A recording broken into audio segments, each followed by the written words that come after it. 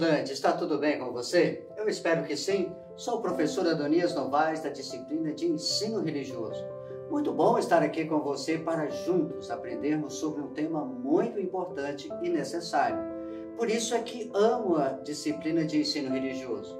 E juntos vamos fazer uma grande festa do conhecimento. Antes de iniciar a nossa aula, você não pode esquecer de registrar a sua presença usando esse QR Code que vai aparecer em sua tela com o seu celular. Combinado? Vamos também passar algumas informações importantes a todos que estiverem nos acompanhando. Esta aula foi planejada para os anos iniciais e tem como objetivo trabalhar a seguinte habilidade: identificar elementos da tradição oral nas culturas e religiosidade indígenas afro-brasileiras, ciganas, entre outras. E o objetivo da aula é o seguinte: perceber o valor e a importância da tradição oral nas culturas e nas religiões. Apresentações feitas, agora vamos para a nossa aula. Nesta aula, vamos conhecer algumas narrativas sagradas relacionadas às religiões. Algumas dessas narrativas foram transmitidas por meio da tradição oral, outras foram escritas e reunidas em livros sagrados. Para despertar o interesse e a curiosidade pelo tema, podemos começar fazendo algumas perguntas e respondendo em um momento de reflexão. Primeiro, como você imagina que a escrita teve início? Você tem ideia de por que os textos foram escritos? Por que alguns grupos religiosos não escreveram seus ensinamentos, e sim os transmitiram oralmente de geração a geração. E por fim, por que é preciso respeitar os livros sagrados e as histórias contadas oralmente em cada grupo religioso? De acordo com as diversas culturas e religiões, o mundo pode ser entendido de formas variadas. Por isso, existem distintas narrativas sagradas que podem ser escritas ou orais. Além disso, é possível expressar a religiosidade de diferentes formas, por meio de palavras, de cânticos, músicas instrumentais, danças, entre outras. Vamos refletir um pouco a respeito da transmissão oral das narrativas sagradas de diferentes povos e grupos religiosos? Os povos indígenas, por exemplo, transmitem suas crenças e suas tradições de uma geração a outra por meio das histórias dos antepassados, que se relacionam com o cotidiano atual das aldeias. Os cantos e as danças também estão muito presentes nas manifestações religiosas desses povos. Isso também acontece nas religiões afro-brasileiras.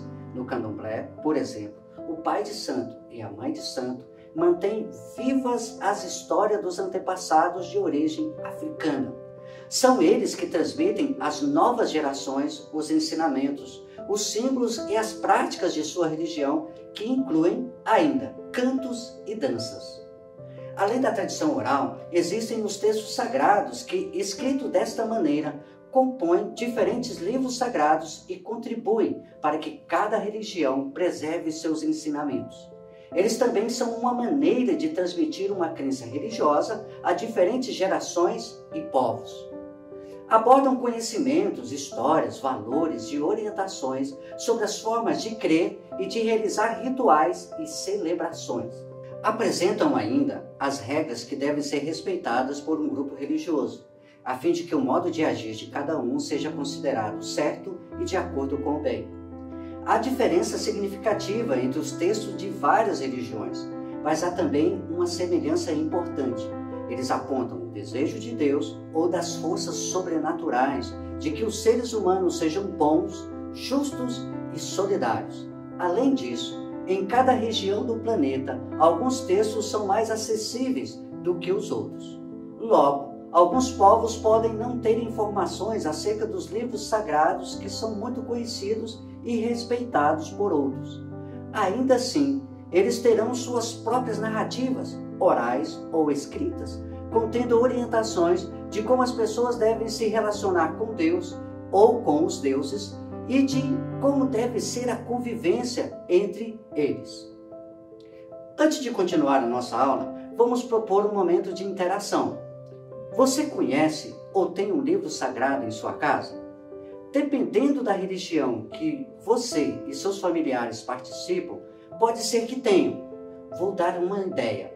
Momentos depois da aula, você pode conversar com seus familiares sobre esse livro sagrado que tem aí no seu lar. Você sabia que a Bíblia, o livro sagrado do cristianismo, é o livro mais vendido no mundo? Segundo a Sociedade Bíblica do Brasil, ela já foi traduzida para aproximadamente 3 mil idiomas diferentes e alcançou um número impressionante de exemplares vendidos, cerca de 4 bilhões. Não é para menos que o livro, uma coleção de textos religiosos de valor sagrados que narram as interpretações religiosas da época, é o mais vendido há mais de 50 anos. A tradução realizada da Bíblia para as diversas línguas é muito próxima da original, fato garantido pela Sociedade Bíblica de cada país no mundo. Apesar da existência de diversas formas de comunicar na atualidade, a tradição oral na religião ainda é muito forte, pois através dela os líderes religiosos costumam passar as crenças para seus seguidores. Há alguns povos que, através dessa prática da tradição oral, vão adquirindo os conhecimentos religiosos. Vamos conhecer como exemplo essa busca nas tradições indígenas, que sugere em repensar sobre o nosso conceito acerca desses povos, sua sabedoria e cultura. Conhecer as expressões religiosas dos povos indígenas permite compreender melhor a sua cultura e superar o preconceito que muitos ainda têm em relação aos indígenas e o seu modo de vida. As influências da cultura dos europeus e das religiões, principalmente de matriz cristã, impregnaram suas crenças e costumes, na maioria das vezes de forma negativa, levando muitos indígenas a perderem a sua identidade. Cabe hoje a todos os cidadãos conscientes defender os direitos da liberdade e dignidade dos povos indígenas do Brasil. Os indígenas, acima de tudo, deve ser respeitado como seres humanos. Sua cultura precisa ser preservada, conhecida, resgatada e valorizada. Como acabamos de perceber, o conhecimento religioso dos povos indígenas é alcançado pela tradição oral, através da sabedoria dos antepassados, ou seja, dos participantes da tribo do passado, é preservada através da oralidade. Honrar os ancestrais constitui-se o centro da ética religiosa indígena. O texto sagrado é transmitido na forma oral. São histórias míticas que os sábios anciões contam oralmente para toda a tribo, preservando assim a sabedoria e a tradição. Os mitos falam geralmente da origem e transformação do universo, da vida, das outras nações indígenas, dos fenômenos de ordem espiritual ou sobrenatural que acontecem com as pessoas na aldeia. Contam como os homens aprenderam a cultivar a terra, a fabricar os instrumentos, qual a posição de sua sociedade tribal em relação a outras que instituem as suas regras sociais e ritos religiosos o que acontece com as pessoas depois da morte. Atualmente, porém, algumas comunidades indígenas utilizam a escrita. Os povos indígenas ainda hoje sofrem discriminação e injustiças. Muitos são expulsos de suas terras. As florestas são destruídas pelos madeireiros e exploradores de minas. As águas são poluídas e os animais exterminados. Por causa disso, muitos indígenas perderam o rumo de suas vidas. Muitos vivem em, um, algumas condições desumanas, em reservas ou nos subúrbios das cidades. Mas também existem algumas tribos, como os Yanomamis, no Alto Xingu, Mato Grosso, que já encontraram formas de conviverem com a civilização moderna sem perder o seu referencial cultural. Segundo pesquisadores, ainda há algumas tribos no Brasil vivendo nas selvas amazônicas que não tiveram contato com o homem civilizado. Vamos fazer uma atividade para perceber se você está aprendendo o que foi proposto para a aula. A pergunta é o seguinte: qual é o livro sagrado do cristianismo mais vendido no mundo? Letra A: Tripitaka. Letra B, Alcorão. Letra C, Bíblia. E letra D, Constituição. Tempo para você responder.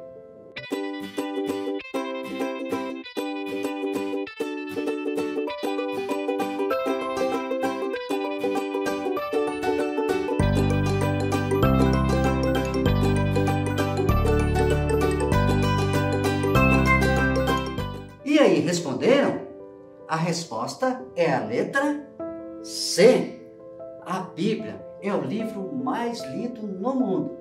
E vocês acertaram, eu acredito que sim. Parabéns! Vamos continuar.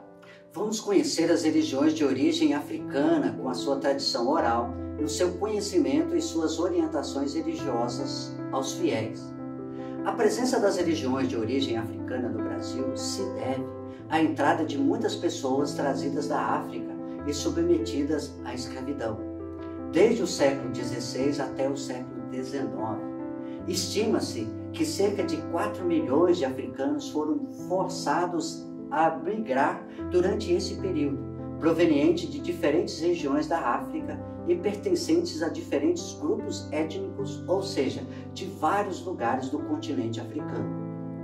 Os grupos religiosos afro-brasileiros, as tradições religiosas de matriz africana, também chamados de religiões afro-brasileiras, abrangem os vários grupos religiosos nascidos das tradições culturais e religiosas trazidas da África e que aqui se mesclaram entre si, constituindo-se como forte fator de resistência à escravidão.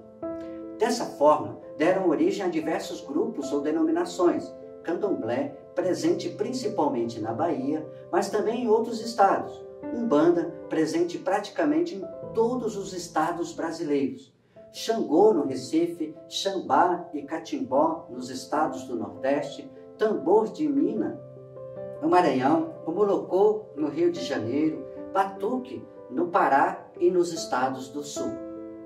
A primeira religião que vamos conhecer, o candomblé. A palavra candomblé significa cantar e dançar em louvor e é a origem do banto. O candomblé é o símbolo da resistência dos negros contra a escravidão no Brasil. E os seus ritos e mitos pouco se fala da história da tremenda travessia da África para o Brasil através do oceano ou da violência desagregadora dos trabalhos escravos a que foram submetidos, mas prevalece a ênfase no culto à presença dos orixás, as forças da natureza mediadoras do ser supremo chamado de Olorum ou Olodumaré, nos espaços sagrados ao seu poder de influência dos comportamentos dos adeptos. Foi organizado a partir dos diversos cultos afro desde o início da chegada dos diversos grupos étnicos introduzidos no Brasil pelo tráfico de escravos. Não é apenas uma religião de pessoas negras, é também apreciada por um vasto contingente de pessoas de outras etnias presentes no Brasil. O culto geralmente termina com um jantar aberto ao público, feito com alimentos sagrados à comida dos orixás. A Umbanda é uma religião tipicamente brasileira, organizada a partir dos cultos afros, crenças católicas, filosofia espírita, pagelança indígena e esoterismo.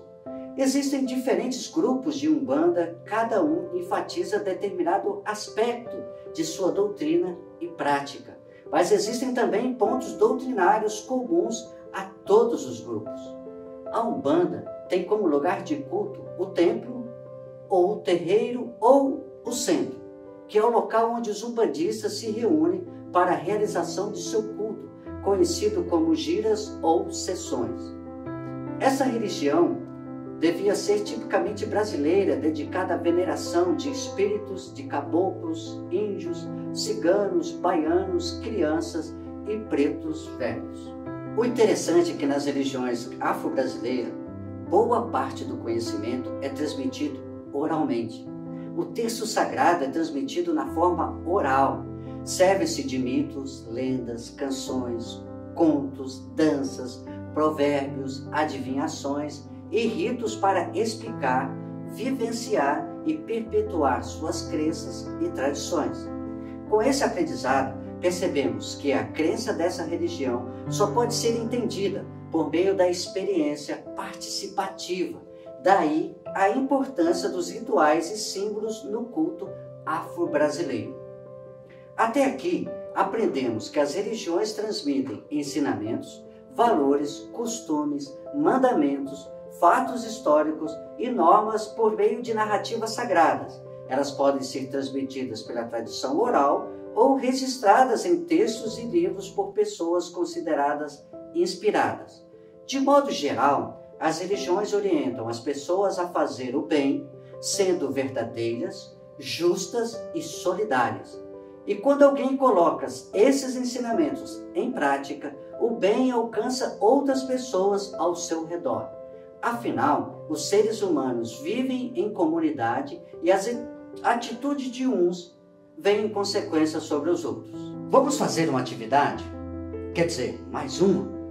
Nesta aula aprendemos sobre a importância da tradição oral nas religiões afro-brasileiras e podemos perguntar: que é tradição oral? Letra A. É uma transmissão pela internet? É uma transmissão pela fala?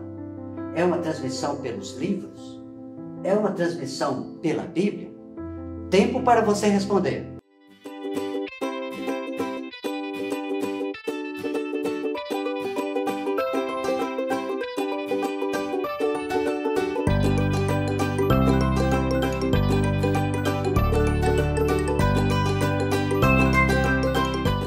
Aí, responderam? Quem respondeu a letra B acertou. Parabéns! Ainda quero propor um desafio. Olha que legal. Faça um texto ou um desenho sobre o tema estudado nesta aula e mande para nós através do QR Code ou através do número do nosso WhatsApp 99 661 0143. Vamos ficar muito felizes em receber a sua atividade. Assim, vamos perceber que você realmente entendeu o tema que foi ensinado. Você pode fazer e mostrar aos seus professores na escola também. O que acha? Ainda dá tempo de registrar a sua participação usando esse QR Code que está aparecendo na tela da sua TV com o seu celular. Vamos agora fazer uma revisão do que aprendemos em nossa aula. Nós aprendemos diferentes formas de expressar a religiosidade, transmissão oral nas religiões afro-brasileiras, os textos sagrados, diferentes textos religiosos, tradições indígenas, tradição oral indígena, candomblé e umbanda. E por fim, orientações para o bem comum. Muito bem, eu espero que você tenha gostado da nossa aula. Afinal de contas, toda a equipe do Dever em Casa na TV tem como objetivo levar a todos os nossos estudantes o melhor e proporcionar a cada aula uma grande festa do conhecimento. Um forte abraço do professor Adonias e não esqueçam, mesmo distante, nós estamos juntos. Tchau, tchau, pessoal!